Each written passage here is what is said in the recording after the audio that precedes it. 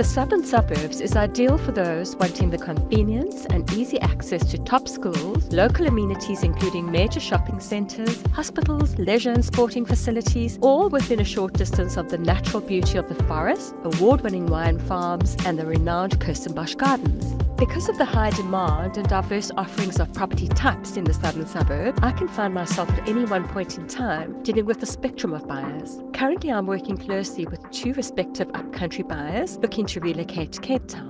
One is a young family wanting to be close to particular schools and with easy access to the city centre on the work front. The other are a stylish middle aged couple who have downsized from a gated estate in Johannesburg and are wanting to secure a lock and go property here in the southern suburbs in order to have the freedom of travel without the hassle of maintaining a large home. Now, most certainly, people move up and about within the southern suburbs, again speaking to the fact that there is such a diverse offering of properties and price ranges.